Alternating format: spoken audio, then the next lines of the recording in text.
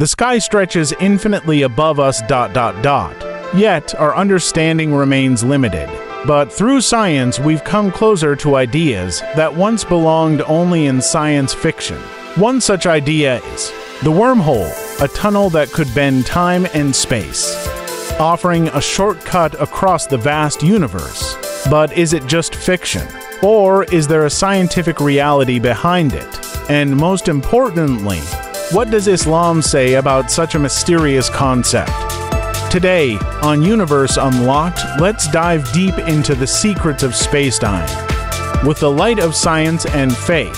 Part 1 What is a wormhole? The scientific view, the term wormhole brings to mind a twisted tunnel, a bridge between two distant points in the universe. But where did this idea come from? In 1935, legendary physicist Albert Einstein and Nathan Rosen proposed the concept of the Einstein Rosen bridge, a theoretical structure where gravity could bend spacetime. So much that two separate points might be directly connected. This was the birth of the wormhole theory. Imagine drawing two dots on a piece of paper. To get from one to the other, you normally travel across the paper.